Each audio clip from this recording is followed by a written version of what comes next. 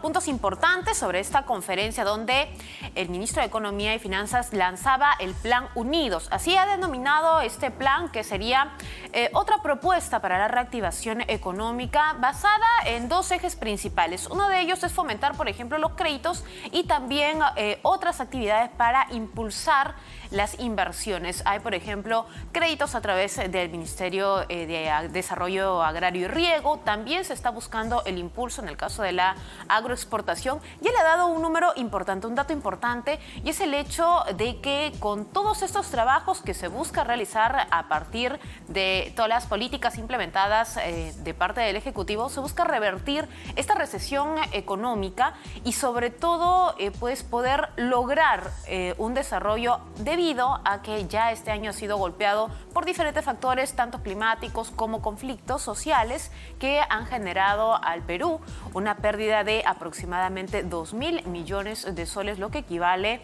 a un promedio de 1.2% del PBI, y esa era una de las preocupaciones. Así que eh, justamente de, estas, de estos anuncios que ha hecho el eh, ministro de Economía y Finanzas, vamos a entrar al análisis con el socio de Macrocónsul, Elmer Cuba, para que nos dé sus opiniones y qué tan factible será el hecho de dar eh, nuevos créditos, dar impulsos financieros, sobre todo si es beneficioso realmente para poder eh, recuperar al país en cuanto a nivel económico. Señor Elme, bienvenido.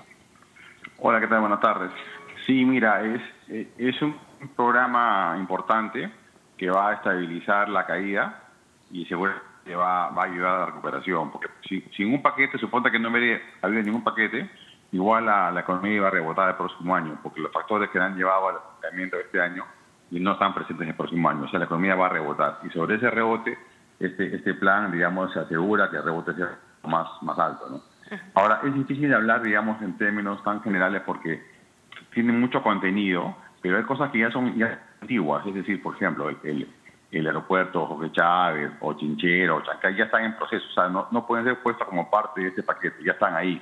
Lo nuevo realmente es este crédito a, la, las microempresas, ¿no? Eso es lo único nuevo. Lo demás ya estaba ahí, pero así ha sido nuevamente puesto en la cajita real, ¿no? Para llamarle una cosa más bonita y darla más políticamente, pero no es nuevo. Lo nuevo, como digo, es el tema de crédito va a ayudar a la recuperación. Sí, efectivamente, ¿no? es muy similar a todos los planes que ha venido eh, pues presentando el Ejecutivo. Ahora, ¿qué tan beneficioso va a ser para el gasto público, no? Porque finalmente esto va a comprometer presupuesto que va a ir directamente a, bueno, a ser colocado en créditos, ¿no? Ya el mismo ministro anunciaba que van a triplicar, por ejemplo, el fondo para el impulso Mi Perú. Pero ¿qué tan beneficioso va a ser para el Estado mismo y para su presupuesto?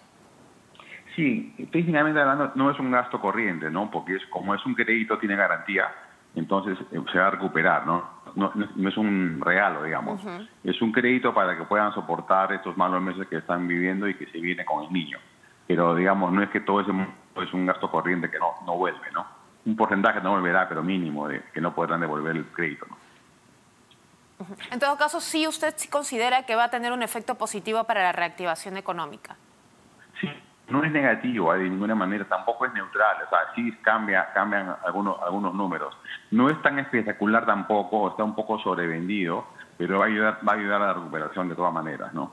Ahora, él no ha sido muy claro, por ejemplo, en cuánto podría incrementarse eh, la pobreza para el cierre de este año. Sin embargo, eh, ya también se ha evitado hablar de bonos en este caso. Desde su perspectiva, ¿qué tan necesario sería nuevamente eh, volver a implementar esta política de entrega de bonos? Porque si bien es cierto, hace tan solo una semana se han anunciado bonos principalmente para los sectores de trabajadores públicos e incluso el sector turismo, ¿no? Pero no exactamente para la población en general, como lo hemos visto anteriormente durante este año. Sí, no, los bonos, esos sí son onerosísimos, ¿no? Porque son gastos que se va y no regresa y la posición fiscal no es tan holgada como se piensa. Este año va a ser muy difícil que se cumpla la meta fiscal y estamos hablando todos los evaluadores de riesgo para ver si sube el riesgo país y eso, eso sería complicado para las empresas, para el costo de financiamiento, ¿no? Entonces, creo que no hay que tener cuidado con un bono de ese tipo, no estamos en en época del COVID, ¿no? Ahora, él también ha resaltado el impulso que se tiene que dar a la agroexportación a través de los empleos y en el caso de la construcción anuncia, por ejemplo, fortalecimiento de programas como el programa Mi Vivienda. ¿Esto podría contribuir también a que estos sectores se dinamicen y sectores que, a propósito, este año han retrocedido?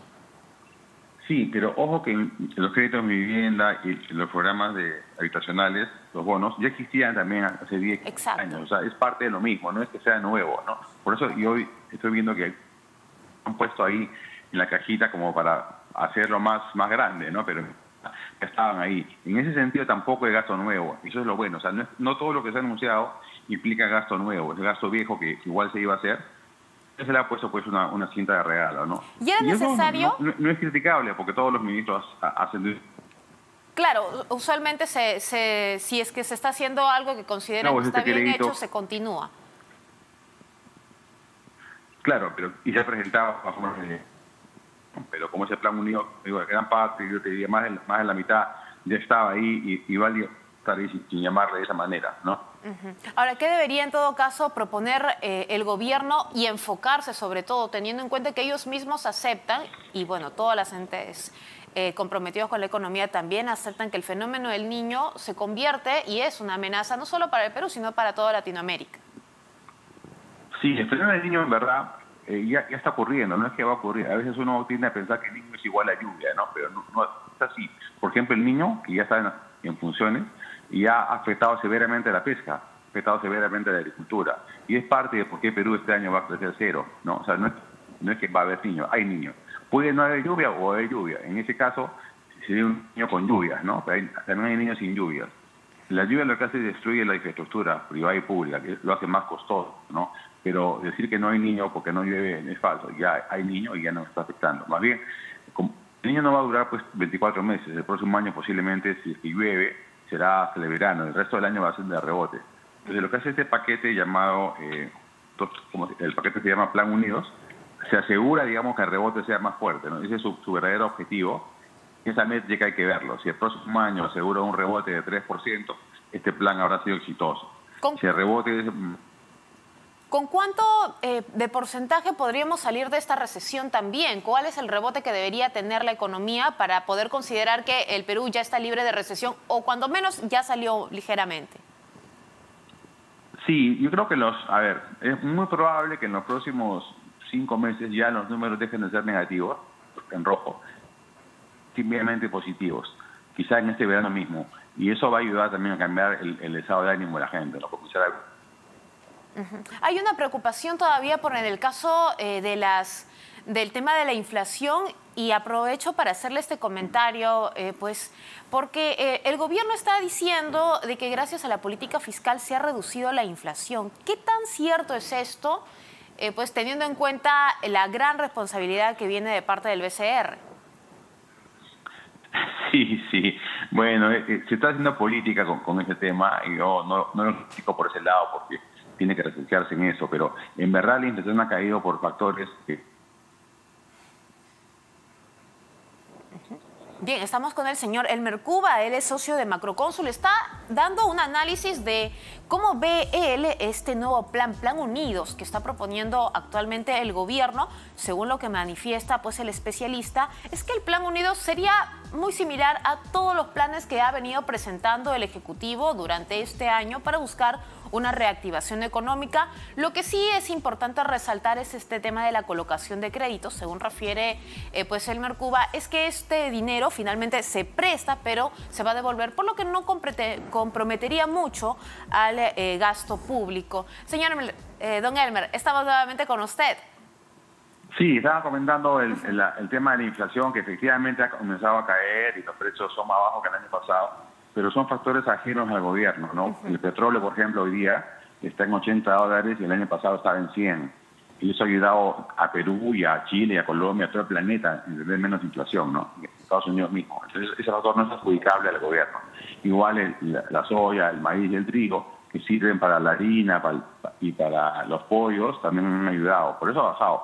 No es, no es un mérito de, de administración, digamos, ¿no? Pero, digamos, quiere vender el que se ha hecho por el gobierno. Y la otra parte le dice el Banco Central, que con la, política monetaria ha ayudado también a que, a que las expectativas no, no afecten los precios. Sí, de hecho estamos esperando a que el BCR pueda realizar un nuevo ajuste de la tasa de interés. ¿Esto cuánto podría, podría contribuir con la implementación, obviamente sumado a la implementación de este Plan Unidos, para que eh, nosotros podamos ver mejorando nuestra economía en los próximos meses? Sí, claro, mira, la lucha antiinflacionaria la estamos ganando y cada mes la inflación es menor que el mes anterior y eso va, a servir para que la tasa de interés baje. Entonces, en los próximos seis meses vamos a ver inflación mucho más, baja que la de ahora y también tasa de interés del Banco Central mucho más baja que la de ahora. Y eso va a ayudar a, que el próximo año sea mejor, tanto porque hay menos inflación como porque el financiamiento también es más bajo. Entonces, el próximo año se está asegurando un rebote, ¿no? Definitivamente, don Elmer, le agradecemos mucho por esa entrevista. Elmer Cuba, socio de Macrocónsul, dando también su opinión, eh, pues su opinión como analista económico en cuanto a este plan que está o que busca pretender, perdón, que busca implementar